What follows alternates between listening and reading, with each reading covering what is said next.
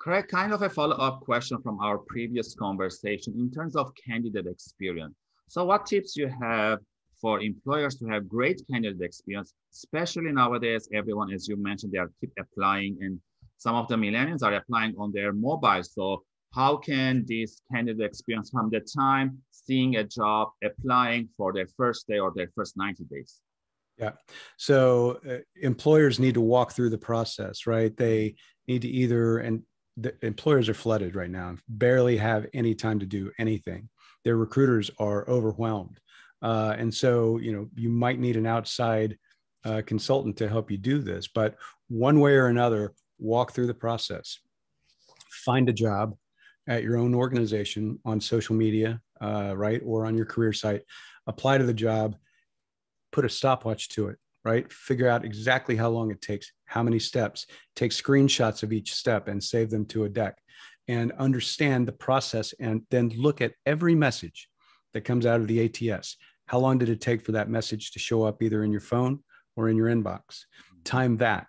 Uh, and then what's the next message? When does someone actually physically reach out? How long does that take? all of these million little details yes. make up a, a, good process overall and that process is what makes the candidate experience. And I, I, believe that sometimes on mobile uh, the application will be different than on the desktop. So it's good to test their ats system correct? Both ways absolutely. In fact you need to do it on a tablet as well. Um, mm-hmm. occasionally uh, I've seen certain ATSs don't do well on tablets when they do or uh, do well for mobile optimization. So uh, there, you know, there are intricacies there that you won't believe when you actually walk through the process uh, have been going on probably for months or maybe years. And I also heard that a lot of companies are using technology in terms of, let's say if a candidate is applying online, suddenly an assistant or, or, I, uh, or AI will pop up and ask them question. That way it can make the communication or minimize, you know, the wait time. What are your thoughts about that? Yeah, I think it's great. So there are a couple of uh, several companies out there now that a couple of prominent ones are going to be uh, AllyO, which is recently acquired by HireVue, and then Paradox that has the Olivia chatbot are a couple of the ones that I'm real familiar with. Um, I actually implemented the first chatbot on a careers site mm-hmm. in 2015. Uh, and so we were one of the first to do that. It was a big tech company called DXC Technology, and it worked really well.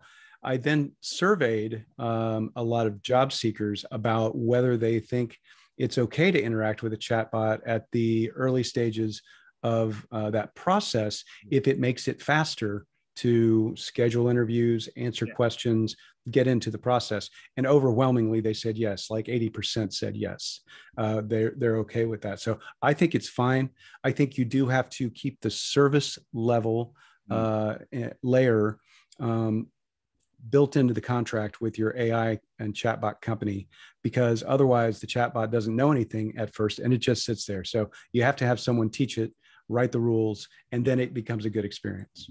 Thank you for those great tips, uh, Craig. Thank you very much. And again, for the audience watching or listening, if you have any other tips in terms of candidate experience, please leave comments below and tune in next time for other great question with.